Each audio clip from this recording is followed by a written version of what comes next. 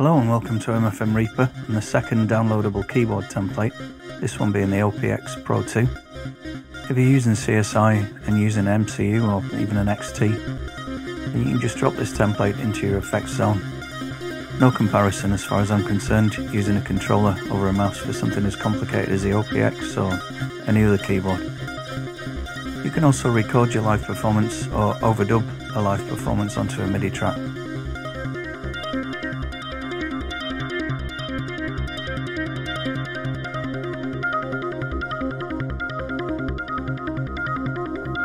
As well as being a practical way of communicating with your keyboard sounds, it's also very creative.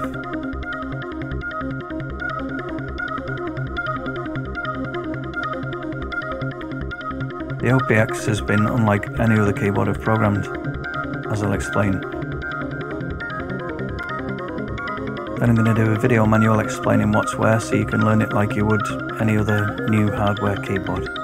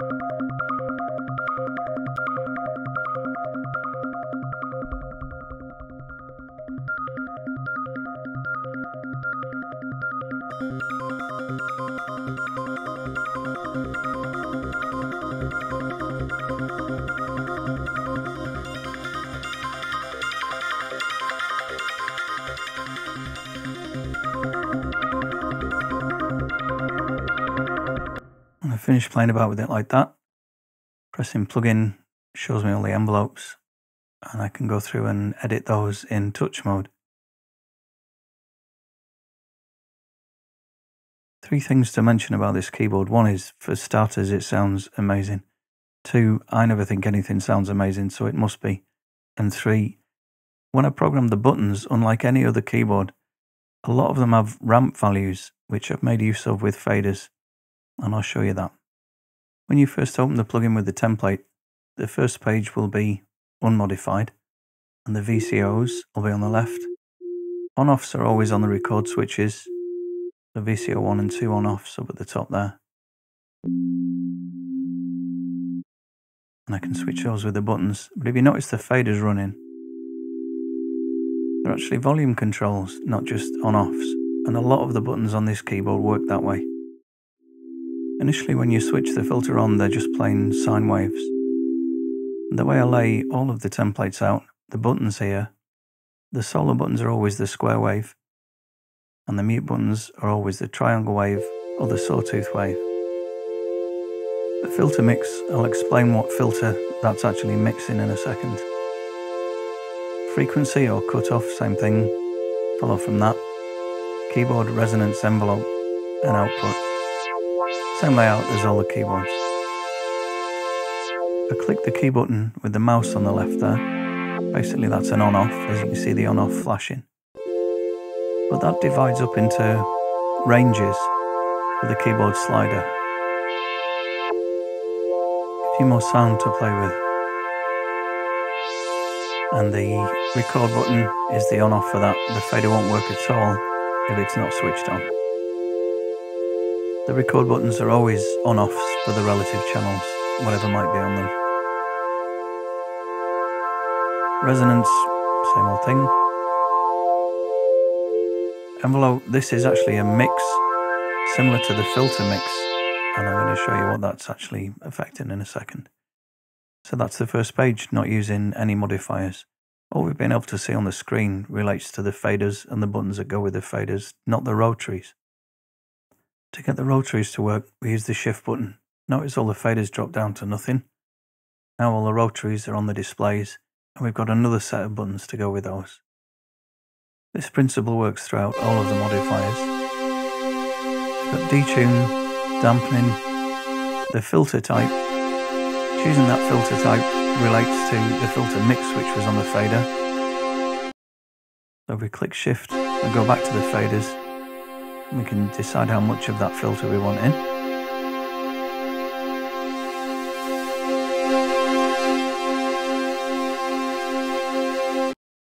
Next modulation is the on off below it, and then how much on the rotary.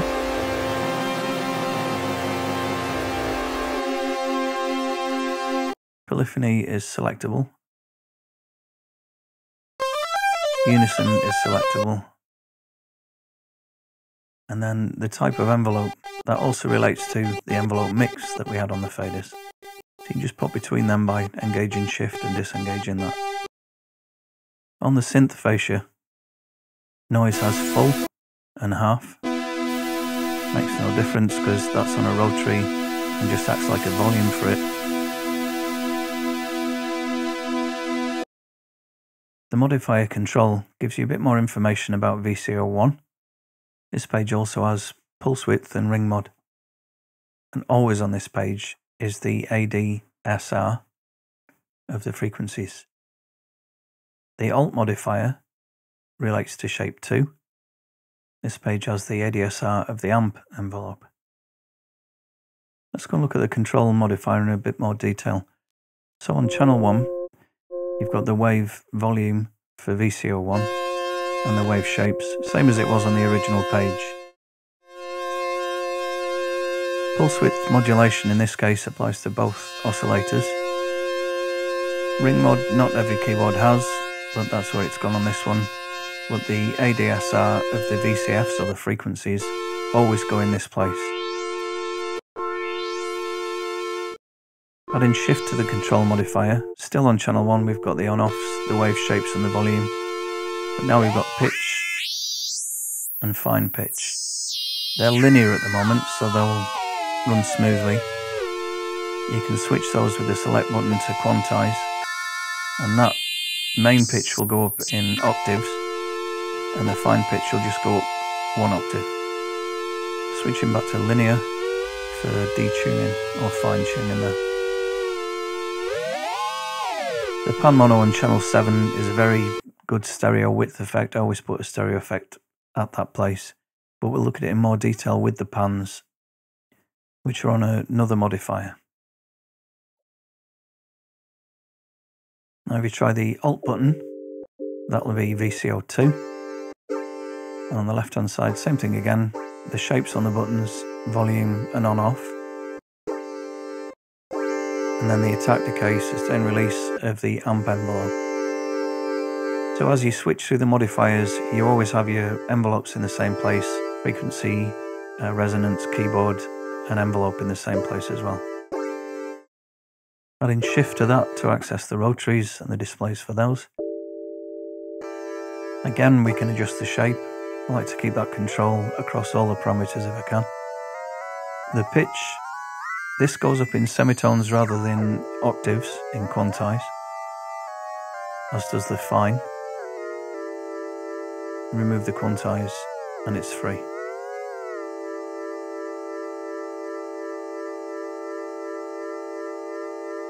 Detune, I've placed steps for that on the select button.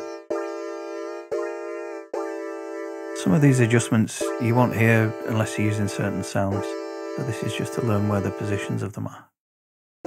On channel 2 there you can have the wheel effect in only oscillator 2 and not 1, hence the solo button lighting up when you turn that on.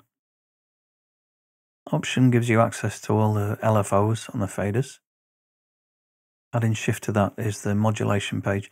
Not much on the modulation page, so a lot overlaps from the LFOs. I'll just run the amount and rate up. So that's just oscillator 1 being sent to that. Oscillating the amp. You can switch that on and off with select. It's got three stages.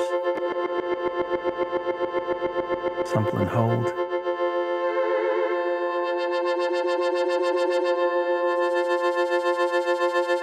The other filters are pretty self-explanatory.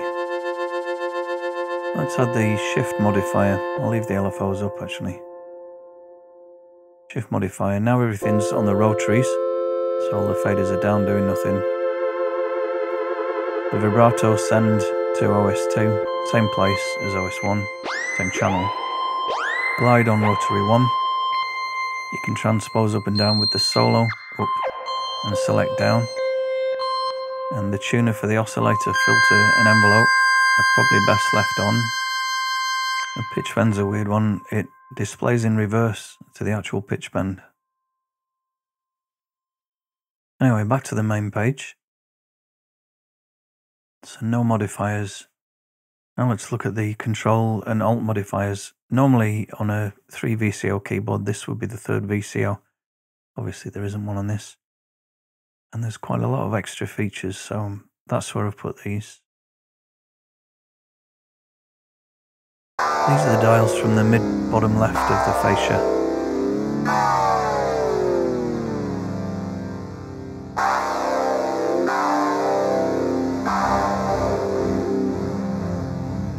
Add shift to those two modifiers, we get all of the pans on the rotaries. So the six pans and the seventh one is the pan mono, which is like the master control. It's like an inverted width when it's at zero.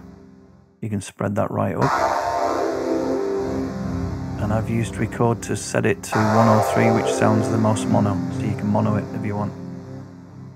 And just pan everything as wide as possible. You would think with the pan mono at zero, it would be mono, but it's not. That's why I've used the record button to step through that.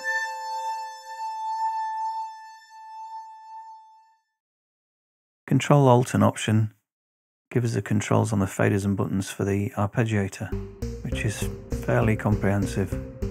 I'll just press hold. You go through steps of different chords. It will only do this when the arp pattern and range is at a specific point. I've programmed the select buttons and the arp pattern and range to step through this. At the moment we're synced to the BPM of Reaper. You do that by pressing the record arm 2 or record arm 5, both of them under the word rate. So you would change the speed of this arpeggiator with rate on channel 2. Let's try a single note arpeggiator rather than the chord arpeggiator. You can choose the patterns with the select button on arp pattern range or by moving the faders up.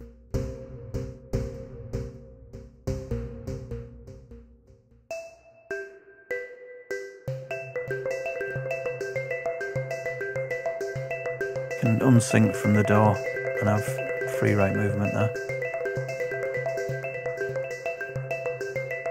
But the rate on fader 2 only applies to when you're in chord mode. Just move the faders about, they're both linked together. You get different arpeggio patterns there.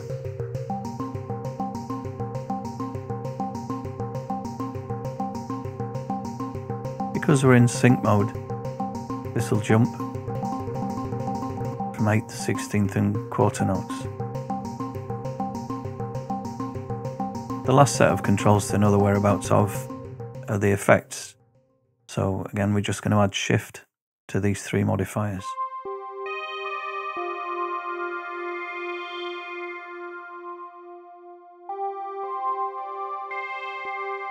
There aren't any individual on-off buttons like there are on a few other keyboards. Now this is just going to be done with the mix volume. You can turn all of the effects on and off with the on off button on channel 1 and also with the rotary that acts like a send so you can turn down the send in till you've got nothing. All the other rotaries are pretty self-explanatory there, delay feed, time. Below time you can sync to the track with the delay. As I've said all the record arm buttons are either on-offs or they're on-offs for sync.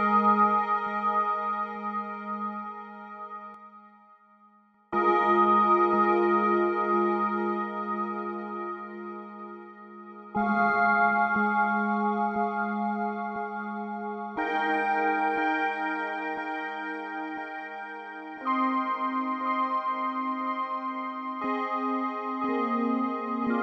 do like how when you turn the effects off, unlike other units, things like the delay and the reverb will ring on. They won't send any more signal into it. So that's why I think of the rotary above channel 1 there as a ascend in to your effects unit.